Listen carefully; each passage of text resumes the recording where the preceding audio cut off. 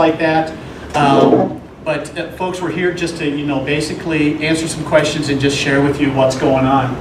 Um, Let me ask some questions here just real quick. Sir, what do you think the assessor's office does? uh, assesses taxes on property, so it generates income for Okay. other services. So it basically assesses taxes on property, so it generate, generates an income for services where taxes go to the different entities like school districts, uh, fire districts, uh, county, and, you know, city, police, city of Colorado Springs, absolutely. Ma'am, how about you? What do you think the assessor does? Well, I think ultimately you do the math. You take what the values have been set at, you take the market, you do the math, produce the bill, and you send it to us. I take off my shoes, count phalanges, and do all that? Absolutely. Um, so, you know, just basically as far as doing the, doing the math and just, you know, uh, uh, making the market adjustments here in El Paso County. Um, go over here. Sir, how do you think the market is here in El Paso County right now? Very favorable if you're a homeowner. If you're a seller? If you're a seller. Absolutely. If, if you are a seller, I would agree with that. Ma'am, you're a realtor. What do you think the market is right now? It's crazy. You know, three hundred and fifty thousand dollars, we're still getting multiple offers, four hundred thousand going on, you know, in a couple days. Absolutely. It's a good market. It, it- it is a good market. Um, You know, my wife and I have had the discussion, Kendra and I had the discussion of going, we got a lot of equity. Should we sell? But the the conversation is, where would you go? You know, many in the real estate community will share with you today is we got a major supply and demand issue going on, and we'll discuss a little bit about that. Um, You know, when I go around and I talk to folks, you know, what the assessor's office does, the fourth function of your assessor's office is to discover, list, classify, and value all taxable and exempt property within their county. The other thing is when you sit there and you talk about define or, you know, basically explain what the market is here in El Paso County, I've heard the terms, it's hot, it's red hot, it's nuclear, you know, just a lot of things that are going on. We have not seen a market like this in El Paso County in quite some time. And it's just not only El Paso County. Uh, we're seeing it in Teller County, our neighbors Douglas, you know, right along the front range. And what has been happening in Denver and Douglas County is also being attributable to some of the things that we're seeing here, where folks are now house poor, tax poor, and they're moving from Denver and Douglas County and moving into El Paso County. Anybody here from Monument, Palmer Lake? How much building are you guys seeing up there? How much growth? A bunch. A bunch. Absolutely. Uh, My wife's the dean of students up there at Palmer Ridge. She's seeing the kids that are coming in. And it basically is a lot of folks, like I said, that are house poor, tax poor in Denver and Douglas County. And they're moving here, getting more home for less money and less taxes. And that's basically what's causing the crunch. But my goal tonight, what I want to talk to you about is the El Paso County real estate market update and trends. And we'll talk a little bit going, Steve, why are you talking 2016 and 2018? And I'll share that with you why. And then answer common questions that come into our office all the time. Why do we have property assessments? How and when is my property assessed? You know, how often do we go through this? How are my property taxes calculated? Keep in mind, it's the county treasurer's office that basically calculate the taxes and send the tax bill out. But I will sit there and guide you through and explain to you how to go about calculating your taxes. And then what I'm also going to be including on your notice of value uh, that I'm going to be mailing out here on Wednesday, which come Wednesday, I'm probably going to be the most popular guy in the county and under my desk in a fetal position. So another question is, why did my property value go up when I have not made any changes? I didn't make any additions, I didn't do any upgrades, I didn't do any demos, but why is my value going up? Why the value change? We hear that quite a bit. If there's a value change, are my property taxes going to go up? And you know what? We all like to see our number one retirement asset appreciate and not what happened back in 2007, 8, 9, where we lost a lot of value in our, in our asset. We like to see the appreciation, but we don't like to see our county assessor sharing that with us because we know there's taxes associated with that. So we'll discuss that as well. We'll discuss the 2019 notice of value because I'm changing that up. I am actually going to be including an estimated tax table on there. Because you know what? I too want to know what the bottom line is. If my value goes up by X, What is the bottom line? What are my taxes going to be? And why are they still considered estimated? How can I appeal my property value? I understand not everybody agrees with their assessor, so we'll sit there and talk about how you can go about appealing your property value. And then let's open it up for questions and have some dialogue and things like that. So just, so here in El Paso County in 2016, 2018, I've been going around the community and sharing with folks, we have been in the top 10 market, not in the state of Colorado, in the whole entire nation for the past three to four years. Um, how many have lived here more than 20 years? Wow, a lot of us. Um, I'm going to date myself, but I will share with you guys, the year I graduated high school is the year Chapel Hills Mall opened up. So and now it's Chapel, no one's, you know, it looks like Chapel Hills Mall is becoming, you know, a blank store, you know, a blank building. Um, but I will tell you this is, things have dramatically changed in this community since I was a kid growing up here in 1975. I remember coming over Monument Hill every weekend. I visit my great grandmother um, in downtown Denver. And, you know, I remember seeing a sign, welcome to Colorado Springs, population 118,000. Those days are long gone. And you know what, folks that have been here with me, the secret's out. We've known this for years. We live in a great community. Um, you know, going outside, it's great weather, you know, the parks, the trails, the open space. We live in a great community and the secret is out where we have a number of individuals moving in. Um, we've been identified as the number one place for millennials to come to. Uh, retirees are coming to, coming to. Folks from Denver, Douglas County are coming to El Paso County. In fact, I actually went to an economic uh, forum um, this morning down at the Cheyenne Mountain Conference Resort, and they are predicting we are going to be growing, El Paso County is going to be growing by half a million people in the next 10 years. And it, it, again, just the secret is out of what's going on. But as you see here, it should be no secret to any of us as property owners. We see it on the national news. We're seeing it in Rich Laden's, you know, the Gazette Telegraph every Sunday. We're seeing it on the local media. The housing momentum in Colorado moves down the front range. As you see here, Elbert, Huerfano, Pueblo, Teller counties, along with El Paso, ranked on the top for market acceleration, according to Denver Post. So what has happened in Denver four, six years ago, and I knew this was going to happen because I've been in this been in this industry for a very long time. It takes about four years for that to roll on over Monument Hill. Um, there are concerns I have with this type of market, and part of it is affordable housing. When you're sitting here talking about what is really affordable now, when our median home price in El Paso County has now surpassed $300,000, to me that's not affordable. As you see here, Rich Laden, Colorado Springs ranks number six among the nation's hottest housing markets for number, uh, November. That headline has not changed in the last three years. We consistently have been in the top 10 in the entire nation for the last three to four years. Um, as you see, Colorado Springs came in number six at Realtors.com, top 20 housing markets nationwide, a ranking that has remained unchanged from October, and like I said, is consistently doing that. Here's some of our local media. KKTV, Colorado Springs housing market will remain strong in 2019. It has not slowed down. Um, the number of deeds that my staff are working right now are between 125, 150 deeds a day, which is a significant amount of transactions that are happening here in El Paso County. So it has not slowed down. The Gazette, more homes for sale as Colorado Springs housing market changes. Um, you know, we're seeing a lot of construction here in the county. Um, are you guys aware, just about a year ago, the state changed its, uh, the state bird?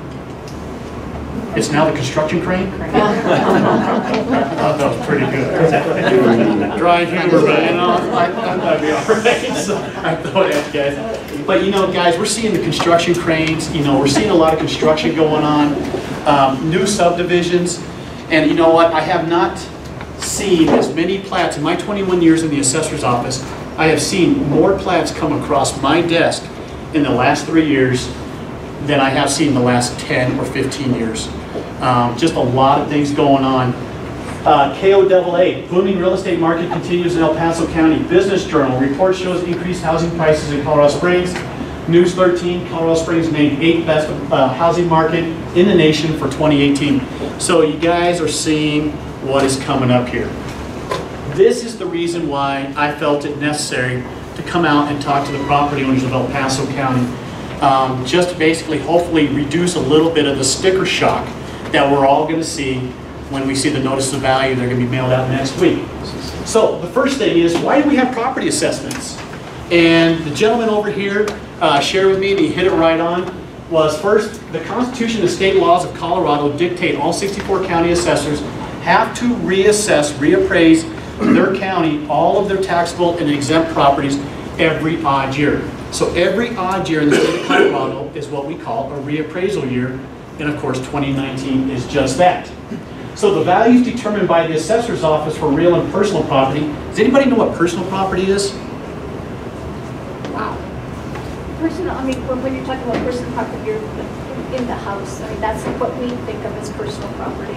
So, back in the day, absolutely. So, um, the state of Colorado used to value jewelry, dishes, your animals, you know, things like that. And that was back in the early 1900s. In fact, when we moved from downtown to um, Garden of the Gods, we found some very old abstracts from the early 1900s. And I had to laugh when I was going through them because at that time it said, you know, we valued total, there was 1,500 jackasses in El Paso County. I'm going, there's a lot more now. So, so we multiplied there. Um, but what, what personal property is, it's business personal property. So our businesses are taxed on their equipment, their furniture, fixtures, and equipment. And so, you know, I, I feel that's an owner's tax because our business owners are paying a sales tax, a use tax, and they also file that on their Schedule C for depreciation to the IRS. In fact, it's so confusing is our business owners have to keep a separate book for the state of Colorado than they do the feds because the depreciation schedule is completely different. Um, So the good news is El Paso County is the only county in the state where the city and the county, the monies that are supposed to come in from the business equipment are given back to those business owners as a business tax credit. But we still have to vet, discover it, list it, value it uh, for the school districts, fire districts, and things like that. But the city and county give that back as a business tax credit. So, as you see here, um, the values determined by the assessor's office for real and personal property are used in the calculation of property tax bills that are mailed by our county treasurer's office. Keep in mind, these are two totally separate offices, two totally different elected offices. And I think when Colorado established itself back in 1876, they did it the right way because some states actually, their assessor is the tax collector. So you got one person doing the valuing and the collecting. Here in the state of Colorado, it's two totally separate entities, so you have several eyes looking at that, ensuring there's no hanky-panky of, you know, basically valuing and then collecting the taxes. The revenue raised through these property taxes is used to help pay for all public services, which we know, police, schools, libraries, fire protection, city, county, things like that. So, how is my property assessed? So for residential property, county, uh, county assessor appraisers study the sales of homes similar to your- yours, which sold within a specific 24-month timeframe. This is extremely important. So for the 2019 reappraisal, by law, we can only use sales that occurred from July 1 of 2016 to June 30th of 2018. This is extremely confusing to property owners who are going, Steve, I just got this NOV and you're saying my value is this. But you're using data that's a year, year and a half, almost two years old. And that's done, basically done by state law. Here is where this could really kill an assessor's office. When you see an appreciating market like we're in, it's not that big of a deal. But in 2009, we got crucified. And the reason why is we went, basically, the, the housing market crashed. We saw a lot of foreclosures, but our NOV still showed values going up. And we had a number of people outside our office going, do you guys know exactly what you're doing? But it comes down to the 24-month time frame. so you keep in mind is for the 2019 reappraisal, it's the sales that occurred from July 1 of 2016 to June 30th of 2018. And so as an appraiser, and those folks that are in the real estate market, they know is there's three components to valuing a property. You could use the cost, market, or income approach. So here, why am I only using sales for residential property and not the cost and income approach? Anybody have an idea? Tabor. When we as voters voted in Tabor back in 1992, the Taxpayer Bill of Rights, part of that amendment said assessors can only use the sales market comparison approach for single-family residential property. Now, we can use all three approaches for non-residential, which is commercial and vacant land and business personal property, which is cost, market, and income. This was a huge shift in the assessor's office, especially when you're sitting there looking at rental properties. And when somebody's like, I only had a renter in there for three months, we can no longer sit there and look at that information. We have to use the sales market comparison approach, part of the Tabor Amendment. So as mentioned, for commercial and industrial properties, we use the cost, market, income, income approaches and are considered for business personal property. Those values are based on um, assets that are provided to us uh, via their declaration schedules that they just submitted to my office on April 15th. So, when is my property assessed? I just mentioned that, you know, five minutes ago. Every odd year in the state of Colorado is a reappraisal year. And so under Colorado law, all real property, land, buildings, improvements must be reappraised every two years. And this occurs every odd number year, 2017, 2019. And believe it or not, folks, we haven't even mailed out the notice of value, and my staff is already working on the 2021 reappraisal because of the sales that are currently going on. We are audited on those sales, so every deed that comes in, we are already reviewing those sales to make sure they're arm's length transaction. So the assessor's office studies those sales of properties, and as I said, we're audited on that, which is a good thing, which sold during the 24-month study period, um, ending June 30th of the year prior to the reappraisal. New values are set each year for business personal property owned by businesses based on information. So um, business personal property and state assessed. So we actually have state assessed property, which is our airlines. Uh, we tax the, every rail car that comes down through El Paso County, uh, telecommunications, the wind turbines out in Calhan, the transmission lines, all that is considered state assessed and we value that every year. So, how are my property taxes calculated? First and foremost is, again, the assessor does not set the property taxes or collect payments. However, I am more than happy to provide the information and guide you through this. So to calculate the taxes, first and foremost, how many people here feel that they are taxed on the, their actual market value? Wow. Got one. Usually it's a whole hand that goes up. We are not taxed on our actual market value. We are actually taxed on our assessed value. And we'll go into a little bit about that of how the two constitutional amendments are colliding with one another, which is the Gallagher Amendment and the Tabor Amendment. So to calculate the taxes, the assessor actual value is adjusted by the appropriate assessment rate to determine its assessed value. So non-residential property owners, commercial, vacant land, their assessment rate is 29%. For single-family residential property, it's 7.2. So the commercial and vacant land properties owners are paying quadruple the amount of taxes. When you sit there and you take a look at the difference between 7.2 and then 29%. So, let's talk a little bit about the Gallagher Amendment. Anybody have heard, has seen in the news or read in the paper the Gallagher Amendment? Okay, a couple. All right, guys, when you're done with this, everybody's going to get a certificate of finishing Assessor 101 here real quick. But this is extremely important. Back in 1982, the state of Colorado was going basically through a tax revolt. The assessment rate for non-residential and residential properties was 30%. And back in 1982, for those of us that you know have been here quite some time, we were in a very hot market at that time as well. And what has happened is folks were being pushed out of their homes, values were going up, they could no longer afford the taxes when you had an assessment rate of 30%. So, in, in no exaggeration or embellishment, people were actually putting keys under their doors and basically just walking away and doing, you know, uh, going through the foreclosure process. So Senator Dennis Gallagher said, you know what? I see folks up here, they're lobbying for the farmers, the ranchers, ag land.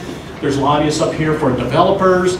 There's lobbyists up here for, you know, commercial property owners. I'm not seeing lobbyists for the residential property owners. And what bothered him, it was in his neighborhood up in Denver where he saw a lot of seniors not able to sit there and pay their taxes. And their properties were going into tax sale, foreclosure, and things like that. So what he proposed was the, the Gallagher Amendment, which is also known as the 55-45 split.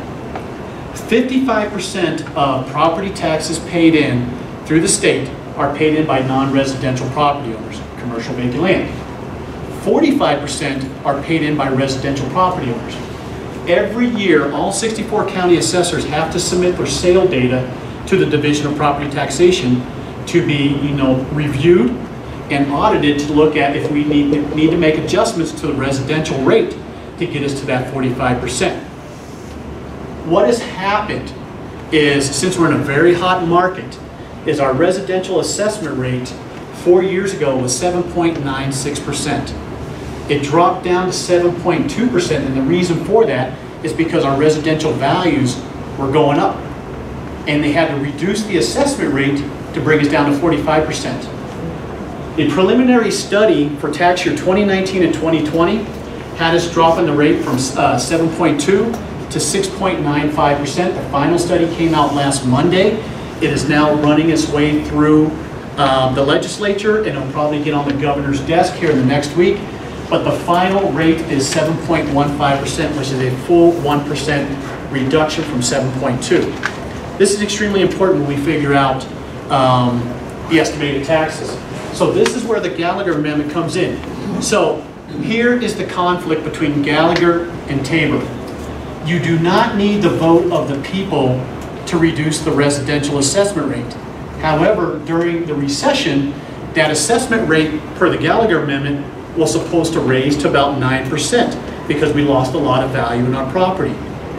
The reason it did not do that is because now Tabor, which was voted in 10 years after Gallagher, that is now considered a tax increase. So Gallagher it cannot do what it was intended to do in 1982. So now you got two constitutional amendments that are butting heads with one another. And so this has basically become a huge discussion item up there. Uh, in fact, they actually put a committee together with some House District representatives, some senators, and six assessors where we are sitting just coming up with ideas to take to the voters. And thankfully, I was one of the assessors to, you know, basically sit on that table because I feel El Paso County needs to have to sit on the uh, seat at the table on this because it's a very important topic when it comes to our, our property taxes and the assessment rate. So the assessed value, let, less any exempted amount, is next multiplied by the applicable tax rate, our mill levies. You know, many folks up here are paying into School District 20, City of Colorado Springs, El Paso County, things like that. So those are the entities that are drawing property taxes, um, and those are called mill levies. So in Colorado, tax rates are expressed as a decimal fraction of a dollar for every one dollar of assessed value known as a millage or mills. Jules. So I put some examples here together for you.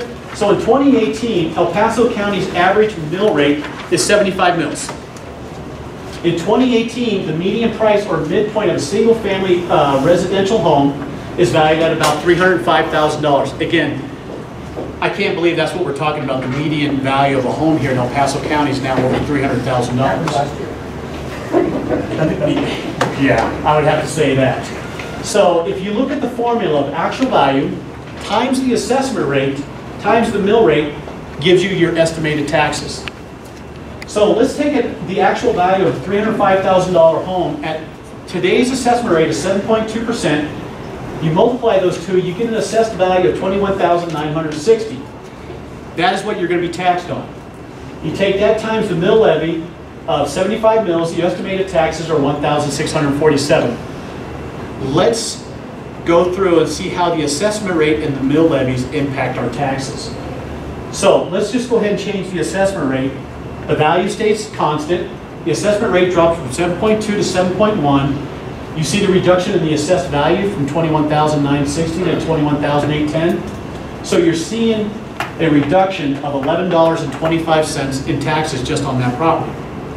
But since 2019 is a reappraisal, let's say based on sales, I increase the value of that property by 15%. So today's value is 350,750. Assessment rate is 7.15%. You're looking at a difference of $234, um, you know, based on that. But the impact of the assessment rate and also your mill levies is extremely critical in in determining uh, what your estimated taxes are. So we talked about the assessment rate. A lot of folks are sitting here talking, all right, Steve, what about our districts? Many of our districts here in El Paso County have to comply with Tabor. And when you're looking at the value increases that we are seeing, is some of these districts are probably gonna have to ratchet down. Has anybody ever heard that term? A ratchet down effect? They're gonna have to ratchet down their mill levies to get below their Tabor cap. So we don't know what the taxes for our properties are gonna be until mid-December when they have to submit their levies to us. By law, on August 25th, I have to send out uh, preliminary certifications to over 300 taxing districts here in El Paso County, letting them know, here is what your total assessed value is for residential, non-residential, and exempt property. And that's where they base the calculations off what their mill levy is going to be. And when you're looking at increasing the assessed value total countywide by 15%, some of these districts are going to have to lower their mill levies to sit there and bring things down, which means our taxes will probably be coming down if they have to reduce their mill levies. So, is there any questions on that? Did I confuse folks? Everybody looks like, oh, Steve. Yeah, It's confusing, one hand you said they're gonna go up, and then the other hand you said they're gonna go down. You know, and and I'm not gonna sugarcoat things, you know, when you're looking at the value increases that we're seeing based on the sales, our taxes are gonna go up. But they're completely estimated until mid, uh, middle December. But, you know, the worst case scenario is probably what you're gonna see on the estimated tax box that I'm gonna provide on the NOV. There's a lot of things that are gonna come into play. Yes, sir. If I understand you correctly, if, if, uh, the, uh, school district has a, a mill levy of, and I'm making this up obviously, for five, they can't collect any more than they were collecting before, and therefore they have to reduce their mill levy? So, on the school districts, and I wish their mill levy was five. I guess I Yeah, so, um, to answer your question, is if they have a mill levy override, you know, where the voters came in and basically said, hey, we're gonna go ahead and get bonds, and basically these taxes are gonna go back to pay the bonds, that's not affected, it's basically their straight mill levy. They're only allowed to, basically, per growth, per Tabor, is a half a five point five percent growth. And if they're above that 5.5%, they have to reduce their levy. Um, I would not be surprised is in the upcoming election, some of our districts may be coming to us and asking to sit there and basically, you know, keep their mill levy where it's at or increase the mill levy or basically keep the Tabor refund. Because they may overcollect and they may come to the voters within that district to, you know, see if they can keep the Tabor refund. Steve, I want to throw in a little bit about that because that Tabor is the downward pressure on the revenue that municipalities and taxing districts can collect in sheer dollar amounts based on basically inflation. So as your assessed values are going up, mill levies are staying, they're bumping up and over that Tabor limit. Now, they can't collect that much money, they have to bring that down to here.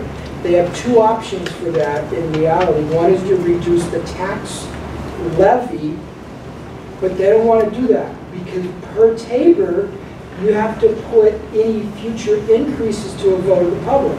So these taxing entities are very, very, very reluctant to lower their mill levies because once they do, they're stuck there unless they get another vote of people to bring it back up when, when times go down. So that's why they're always coming back to us with those Tabor exceptions to keep those holdovers because they don't want to have to lower that tax rate.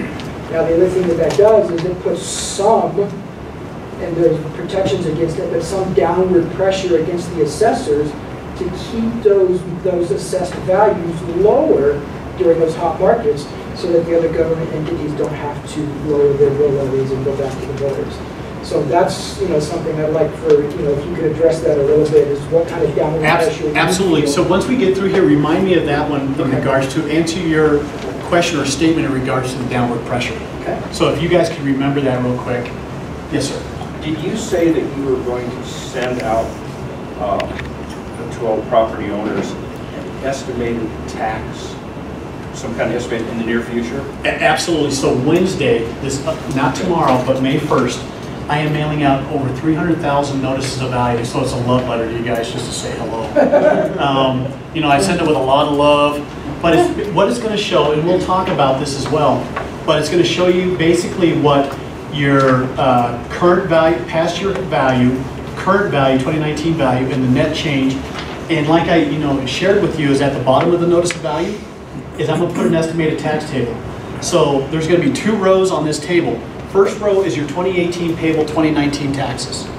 Then it's gonna have your estimated 2019 payable 2020 based on the value change. Because, you know, again, I am a property owner, and when I open that thing up is, hey, great, you're raising my value 20, 25%, but how's this gonna impact my pocketbook? And I think all of us can be in agreement is, that's what we're really looking at is, how is this gonna affect my escrow? If we are escrowing our taxes, how is this gonna affect my monthly payment? Uh, You know, am I gonna be getting a letter from Wells Fargo going, my monthly payment's gonna be going up fifty dollars, you know, based on that? But yes, sir, I am uh, including an estimated tax table on there. And so that will include then the current mill levy values, not any new ones or not any No. estimates. Uh, No, it would include the 2018 mill levy, because we won't know what the 2019s are until December 15th. And that's the reason why it's an estimate. So why the value change? So in order to determine new values for residential property, including single-family, multifamily, apartments, all 64 county assessors are required by law to use only the market approach, as I stated, uh, for 2019 property values. The sales prices of the homes similar to yours, which sold in that 24-month time frame. So from July 1 of 2016 to June 30th of 2018. So those are the sales that we studied. Here in El Paso County, we nearly set a record. We had nearly 43,000 sales in that 24-month time frame. That is a lot of sales, that's a lot of transactions, it's a lot of data that we were looking at. And I'm gonna be, you know, once we're done here, I'll share some data with you guys of the sales in particular neighborhoods here at Briargate. Because what I did is I basically did a circumference and I pulled neighborhoods. I pulled Briargate and a number of different neighborhoods that you all reside in, and we'll talk a little bit about that. So if the sale prices of these homes went up, then the assessed value of your home likely showed an increase. But again, your assessor does not determine the market. The market is determined by a willing buyer and a willing seller, you know, here in the county. And I tell you, some of us that have been in the real estate community, we were having this conversation, is here are some of the sales, I shouldn't say some, many of the sales that I'm seeing today and that I've seen occurred since 2016 through 2018. It is supply and demand, is we have very few, very few supply and a lot of pent-up demand. A lot of folks have figured out the secret, they're moving here. Millennials are moving out of the basement of mom and dad's, thank goodness, and they're wanting to get into home ownership. Folks that were foreclosed on during the recession now have credit, they now have money to put a down payment on, and they want to, you know, basically get out of renting and get back into property ownership. Um, But i- again, it's not your assessor that's uh, basically dictates the market. The sales that we have been seeing coming in is people are getting into bidding wars. And, you know, folks are sitting there saying, I'm gonna put my house on the market for $300,000. A seller will get into a bidding war with another seller, and they're going to the closing table with five, ten, fifteen, twenty thousand dollars in cash above asking price. And this has been going on for quite some time, would you agree? After four years. Yeah, and, and those become arm's length transactions. And they're filed with the clerk and recorder, but it's continually going on today. In fact, my neighbor just got an offer, and there's a bidding war. He put his house on the market for four hundred thousand dollars, and I can't believe he was gonna get four hundred thousand dollars. He signed a contract today, they're coming to the closing table with twenty-three thousand dollars in cash. And, and, and this is what's happening here in our local real estate market. So, sir, How does it work if it was a vacant lot one of the years and you build the house the next year? I tell you what, if I can get through this, can I address that question? Sure. That is a really good question.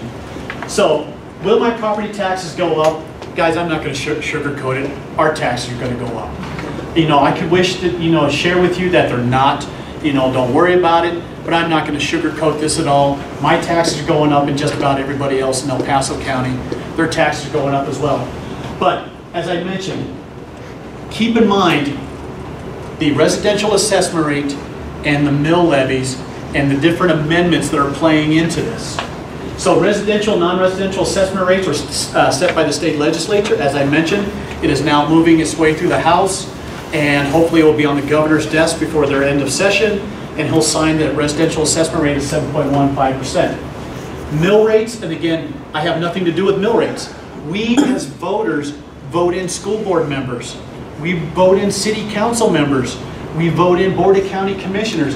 It is those elected officials that sit on those boards that are responsible for the mill levies for the city of Colorado Springs, School District 20, School District 11, uh, El Paso County, and things like that.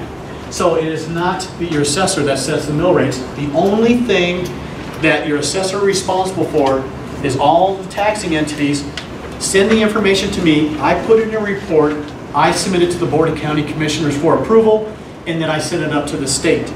Now, a lot of times, I get questions from property owners going, well, Steve, you're talking Tabor, you're talking mill levies. What if one of these districts violates the Tabor? They go above their Tabor cap. Well, believe it or not, the Board of County Commissioners and your uh, elected county assessor do not have police rights. So we cannot do anything about that. However, the State Board of Equalization can. They are the ones that can come down and impose penalties, you know, things like that, and make them change their mill levies or have to issue refunds back to the taxpayers. Thankfully, in El Paso County, we have not seen that. So it's, it's the State Board of Equalization. So as mentioned, oh, go back.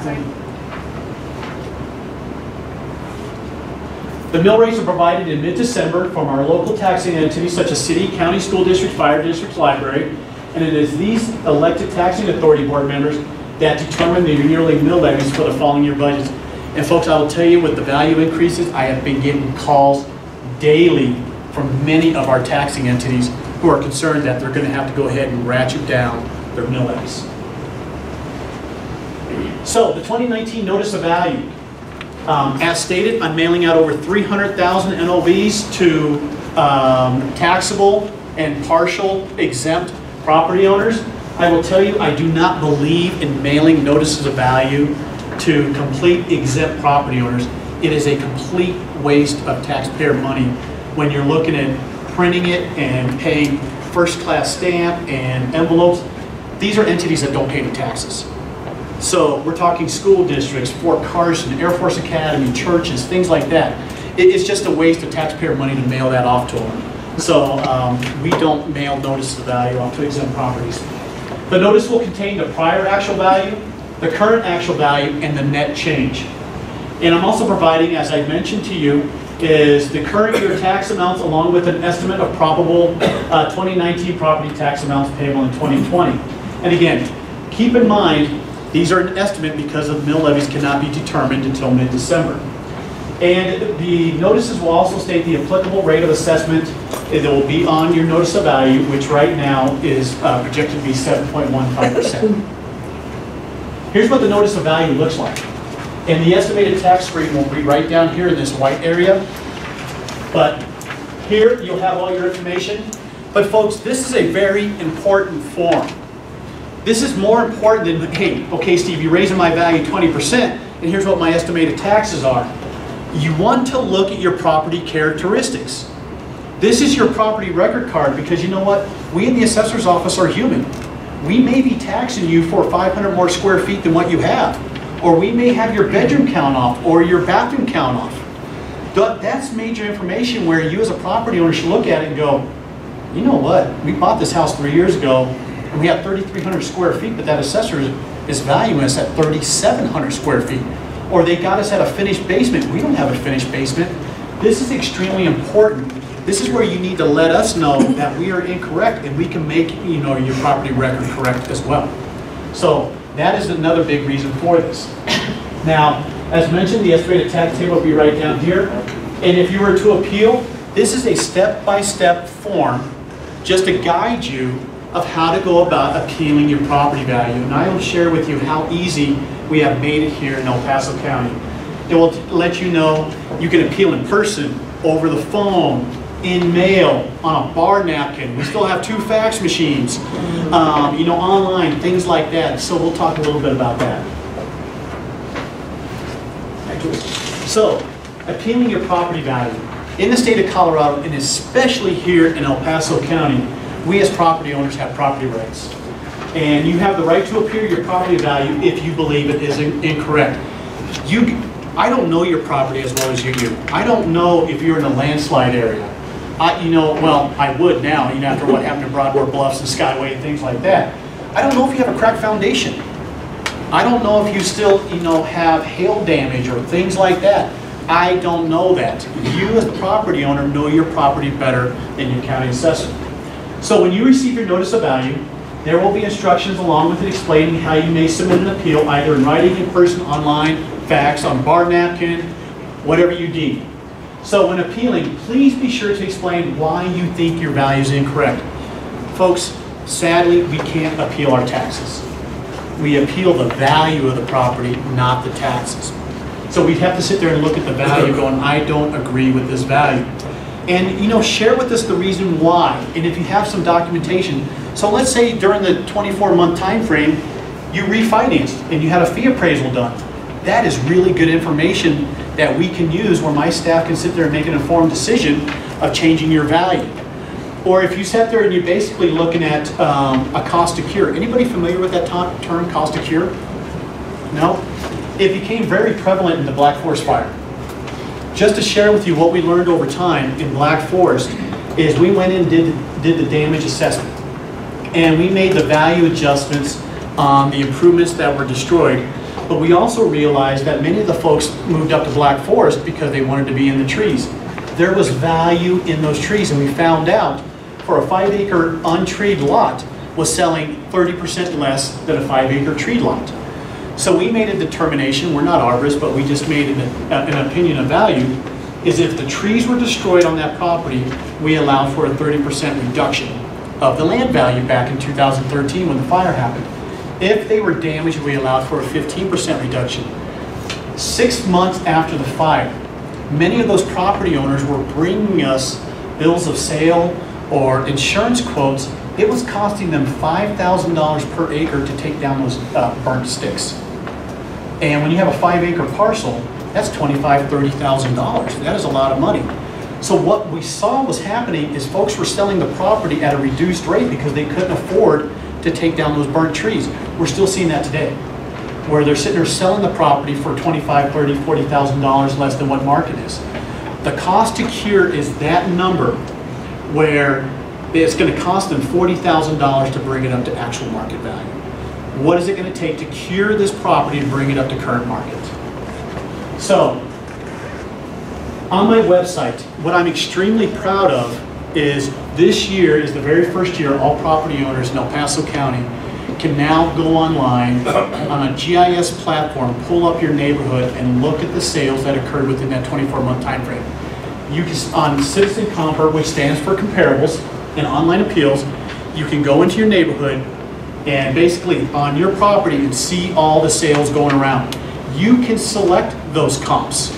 And I actually build you a comp grid sheet for you to make an informed decision while you're sitting at your coffee table, you know, having a hot cup of coffee. But what I'm most proud about is this application, it basically has made my office 100% transparent. What you are seeing is exactly what my staff is seeing when we value your property. And that is now at, at your fingertips. And as you guys are looking at it, please feel free to go out there, test it, take a look at it. Um, if you're lost in it, call me. Um, I left business cards, but if you guys got pen and paper, my direct number is 520-6527. You can call me and I will guide you through that process, but a very, very easy process. Um, Just a plug out there for those folks who work in this industry, I can also tell you that we, as real estate agents and brokers, are willing to help walk through that too, because we have access to the same data through different systems. So if it's overwhelming, confusing, call your real estate broker. Everybody's got one in their back pocket, right? Yep. If you don't, Absolutely. So, Now, the, the term comparable, stands for comparable. So, when, when, comparable properties, Right. Oh. So it's, it's a tab that you will see when you pull your property up, and it's right below the map, you'll see it right there. Um, But like I said, if you get lost in it, just give me a call and I'll guide you there. Now, here is the map. You know, and I know everybody's been looking at this online, we got a, a larger version, you know, um, over there on the wall. But I've been spending my time going through different areas of the county and talking to folks where we've been over on the west side, we've been on the southeast side. Um, You know, up here in Briargate, you know, central Colorado Springs, we're going out to Calhan next week to talk to those folks on what is happening out there. But as you see here, a lot of different value increases, and I wish this showed up a lot better, but as you can see on that map, the southeast side is seeing increases of 30 to 35%. And those are the neighborhoods of Valley High, Eastboro, Southboro, uh, you know, 20, 25% um, increases Security, Widefield, Fountain. And, you know, when I went and spoke to those folks, they're like, oh my gosh, Steve, what do you mean? It's like, why in the world 30, 35%? Is why in the world are we going up so much? Well, there's good news and bad news. Is, the bad news is, it was the southeast corridor back in the recession where those are the property owners that saw the hardest, they were the hardest hit. There was actually a two-tier market during the recession in this area right here, where we actually saw more foreclosures than we did arm's length transactions back in 2007, 8, and 9. The good news is those property owners are now seeing their values back previous 2007. They now have some equity in their property, but the bad news is when the, the assessor's saying that, there's taxes associated with it. But as you move on up, you'll see the different value increases as we're going. And keep in mind, you know, again, it's based on the sales, and I'll share with you in the different neighborhoods the number of sales that have occurred. Because when you got 43,000 sales in a 24-month time frame, that is a lot of data. This is online. You can download this as a PDF. You can zoom in, take a look at what's going on. Um, I put this out on the media. I know that Pam Zubeck with The Independent was kind enough. She put it out there. I know Rich Laden's uh, putting it out there, but you can go to my website and actually download it for your review as well. And there's a lot of good information in this table that will let you know the number of sales that occurred within that neighborhood. So, questions. So sir, I know you had one, and you're talking about, if I remember the question correctly, is vacant land that went residential. Am I correct? So the question was, the change from a vacant parcel to a residential parcel, and probably, I, I'm assuming your question is the difference in taxes. So on a vacant parcel, that assessment rate is at 29%, believe it or not, because it's considered non-residential. So if you have a $300,000 vacant lot, it is multiplied by 29% to get your assessed value, then multiplied by the mill levy. Once you put the shovel in the dirt to pour a foundation, it goes from vacant land to a residential lot, which changes it from 29% to 7.15%. Your taxes went dramatically down.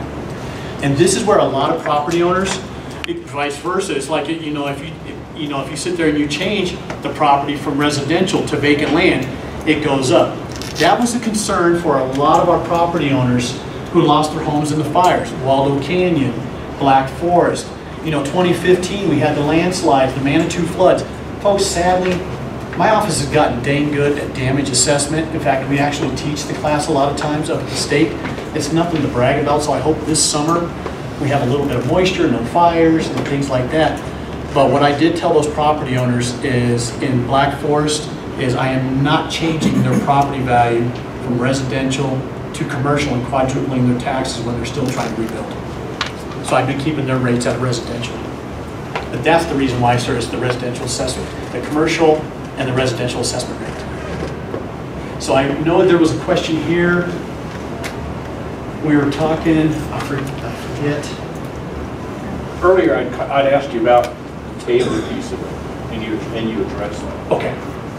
Okay. Yes, sir. What percentage of El Paso is exempt? Nearly, I would say, over 20,000 parcels. Um, There's quite a bit. You know, when you sit there and you look at the federal land, but keep in mind though, El Paso County gets a pill, so do our school districts for federal land, payment in lieu of taxes. So what we look at is Air Force Academy, right across the street from us. We look at that, what would the value of that land be if it were developed? So we basically put commercial values, residential values on, on there, and the federal government pays the county and the school districts a pill, payment in lieu of taxes. Same with nat- uh, natural forest, national forest, things like that. Yes, ma'am. When it talks about looking at, uh, in terms of comps, um, homes that are similar to yours, what, what constitutes similar? Because houses on a street can be vastly different. It's a very good question. Um, If I could answer that in two parts. Okay, one of which is um, El Paso County is, we are the largest county in the state of Colorado, population and also parcel size, as I alluded to, we have over 300,000 parcels. We're extremely large, and we have the lowest number of appeals for any metro county in the state. And the reason for this, we have less than 1% of our property owners appeal. And I think that's attributable to, we run two different types of reappraisals. One of which is, we do it the old-fashioned way. We derive the sales out of a neighborhood, and we pull sales of similar properties, and we make those value adjustments based on, are the values going up, or are they going down? We also run now a very statistical approach called multiple regression analysis, which contains a lot of different variables. Is it a one-car garage, two-car garage, three-car garage, two, two fireplaces, just a number of known different variables. Um, Where we have problems is Old Colorado City, Manitou, where each one of those properties, Old North End, each one of those properties are extremely unique from one another. They're not, you know, um, cookie cutter homes. So we have to go in and we make adjustments. Uh, making adjustments on, is it a three-car garage, two-car garage? What's the square footage? Is it a bi-level, tri-level? Is it a ranch? So we make those value adjustments. But with the new comper, what the old system did is it basically just pulled the sales up. And what a lot of property owners did, they're like, oh, my value's at 300,000, but there's a sale for 175,000, but it wasn't a true comp. So if you had a rancher, they're picking bi-levels and doing all kinds of stuff. So it was very confusing. Now you'll see this information, and I, Julie, you're awesome. Um, You can't get into the Wi-Fi? on a public Wi-Fi like this though, um, the page doesn't tend to So- like load, so. Julie, you're awesome, because she's gonna go in where you can actually see where you can change the variables in Comper now. And you can sit there and make those adjustments based on the subject property, and hopefully we can get into that. But I hope that answered your question. Yeah, yeah. Okay, so, When you were talking about your GIS system, does it show the comps that you used for our taxes? Or do, just the, the, whatever, the parameters for things that we set, like X number of bedrooms, garages, square feet, and pulls up the houses in that area It- for those parameters? so what it will provide you is all the sales within that neighborhood, where you, as an informed property owner, can go in and say, okay, Steve's valued my property at this. Um, What are the sales going on that are comparable to my property? So you're gonna have all the sales available to you, where you can see what's going on in your neighborhood. So you still have to choose based on your parameters? Absolutely. Okay. So, it- it- and again, is you can sit there and appeal that, where you sit there making a informed decision going, Steve's valued my uh, property at 400,000. This property over here across the street, which is pretty comparable, sold for 420, you know, things like that. And, and it'll provide that for you. But you're gonna have your fingers at all the sales. I think what he's asking is, can, I didn't look at this yet, but can you set the time parameter so that we can see the sales that you used? I set the time parameter, and all the sales Right. from 2016 to 2018 are gonna be loaded. All the sales. All the Yeah, sales. but there's Not current the sales ones too, he right? selected. You, in fact, keep in mind, you cannot use current sales. Right. No, but the spatialists filter out current sales, and you've only populated Yep. the 24 months. Spa- Spatialist, so Comper will only have the 24-month sales. Okay, yeah, that's what. Yep, that's it. Now, there will be sales, the current sales on uh, My Community, but in Comper is the 24-month.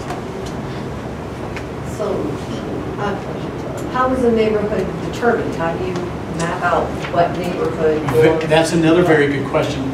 So how we do it in the assessor's office is we got, you know, over 20 economic areas, and we work our way from the south up. Security Widefield Fountain is called economic area number one. And then Broadmoor, working on our way up, economic area number two, Black Forest, economic area number 20.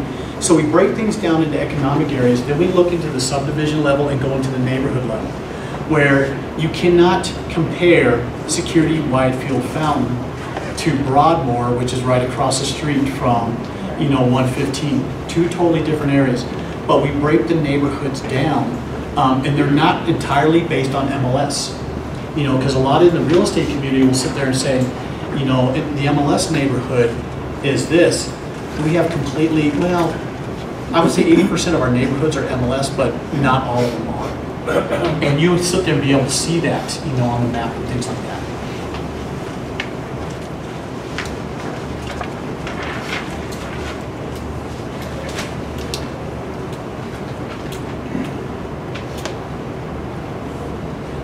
Pull pull up a property, Jules?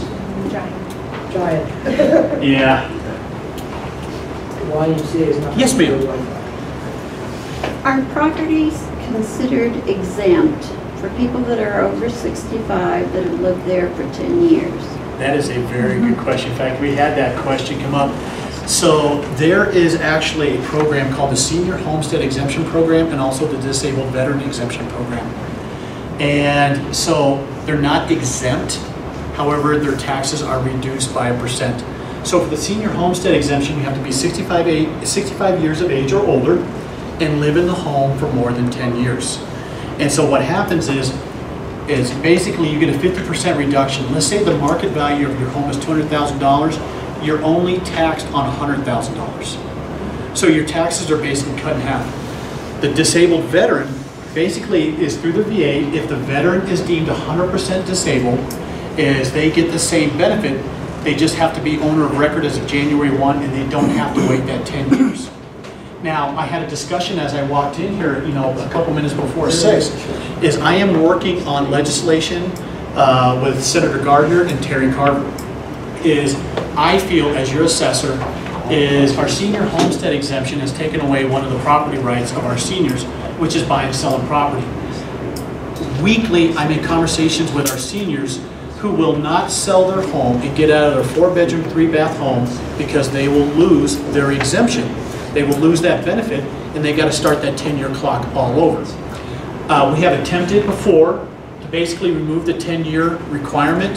That has failed at the legislature multiple times. Um, We basically have failed as well of having a a one-time portability where you just move it. That has failed, and the reason why is because the state is concerned about the fiscal note associated with that. So we basically looked at, you can only eat this elephant one bite at a time.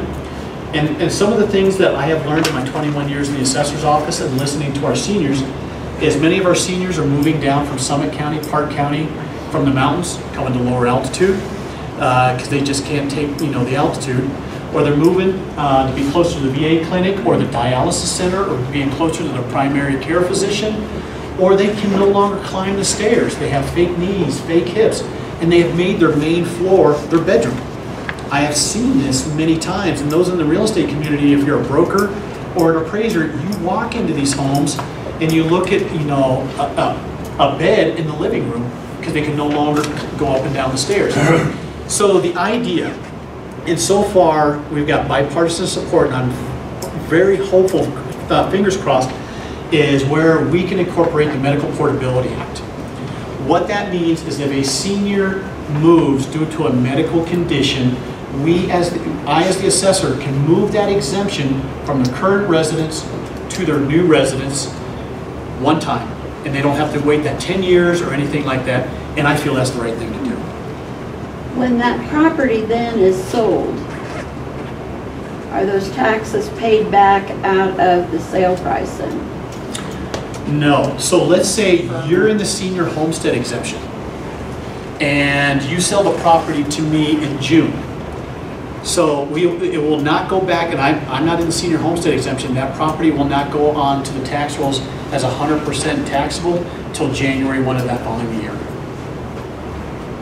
So that's a benefit. So how does that property have to be held? In So- joint tenancy or can it be in family trust or? No, in fact, just basically, if you just want, you know, joint tenants in common.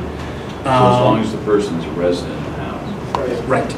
As long as the individual who is applying is on title, and- or in a trust or anything like that. So, you know, if you had it in a trust, you could sit there and say, I'm the one that's applying, here's the trust, things like that. Absolutely.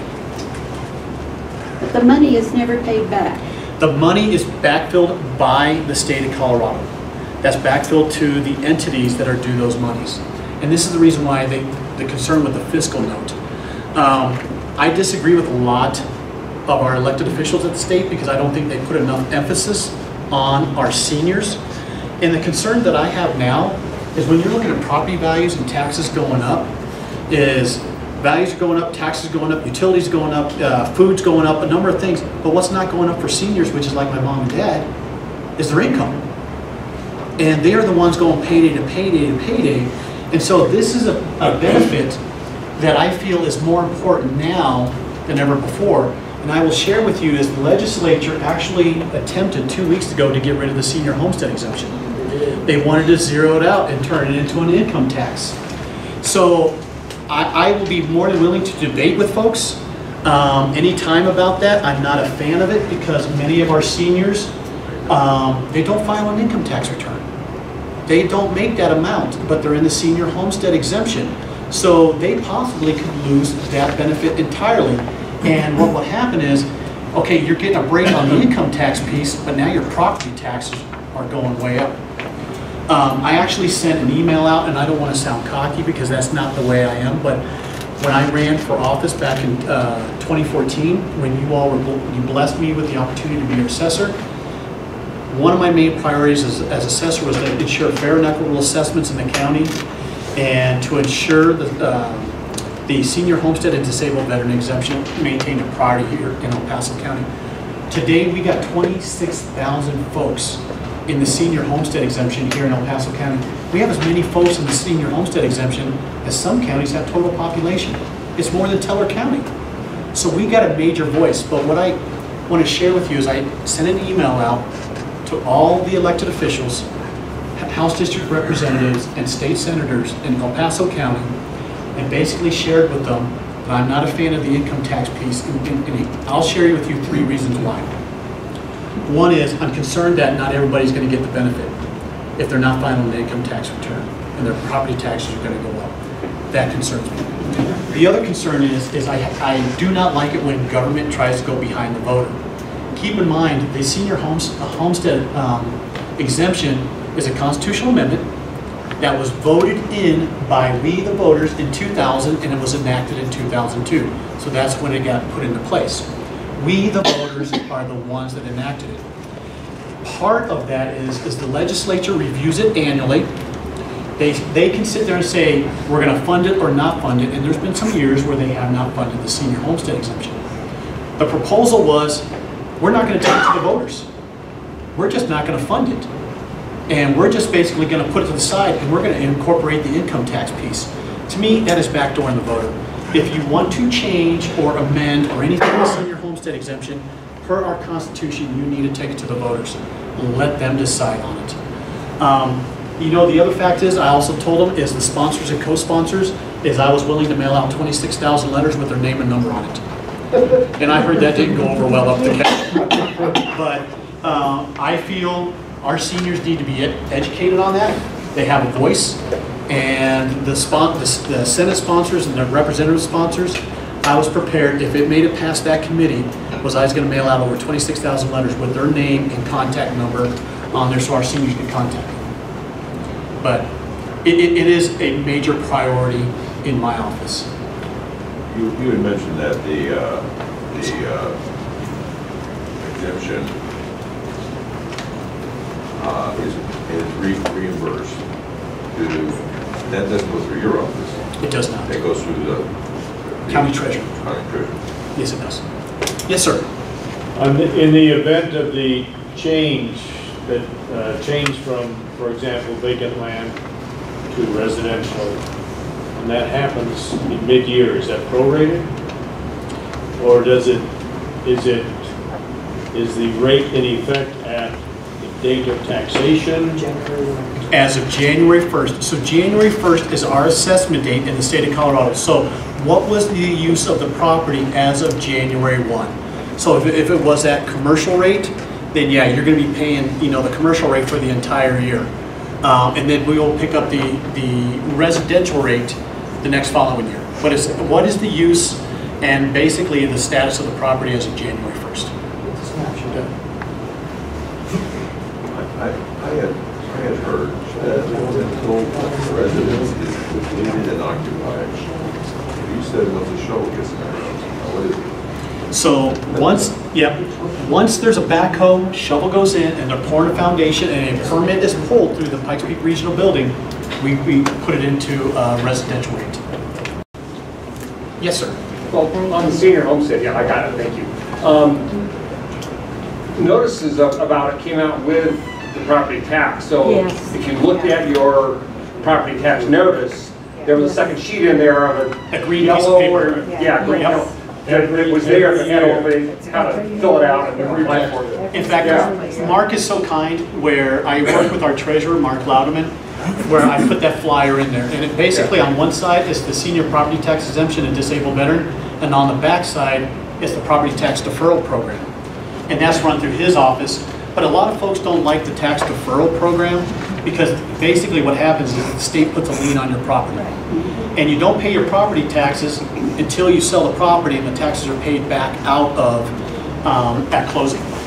And the other, I, it was my, it's my memory that Tabor is, is, is, increases in Tabor are both inflation and growth within the district. So, Yes. as we look at this district and District 20, and the massive growth that's going on here, the growth that's going on up in Lewis Palmer and that sort of thing, the, the growth within the district plus inflation are what allow the Tabor levels to go up within that district. But at the same, and you're absolutely right, 100% correct. But at the same time, there are times like now where your property values may be going up more Yeah. than what growth and inflation are. Right. Yep. But you are 100% correct. I saw, yes, sir.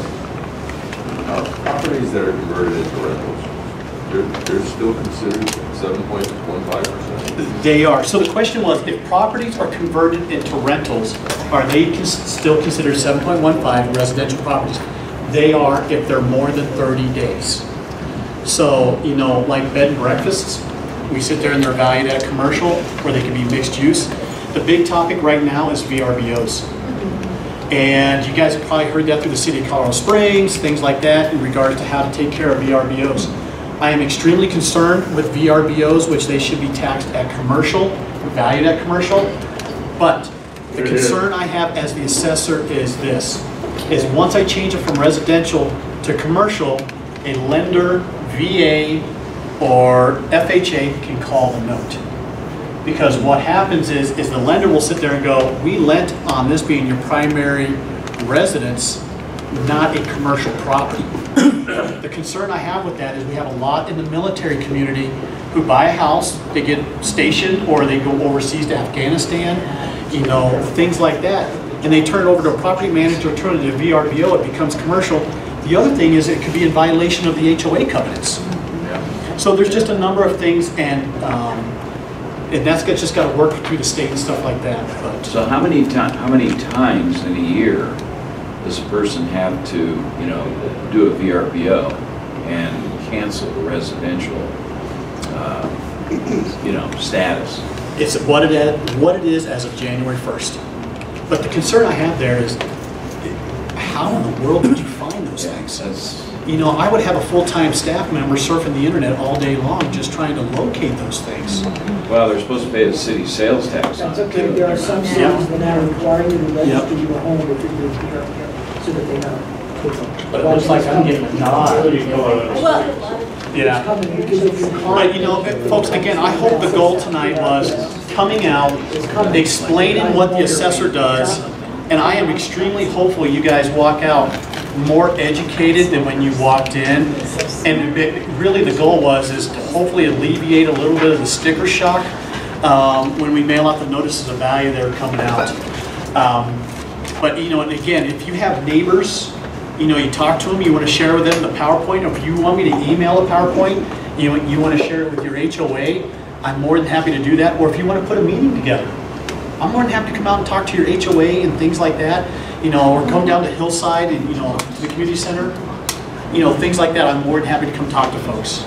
Steve, I think there's a lack of some of this knowledge, I hate to say it in the real estate. I think there's a lack of some of this knowledge in the real estate area for some of our agents and brokers that don't go out of the way to learn this. I'd like to talk about setting up something. Absolutely. Can I come to my office? Absolutely, I'd be more than happy to. But folks, again, thank you for taking the time out of your busy schedule to come out and visit with us, so thank you. If you haven't signed the sign sheet, um, we'll a list for.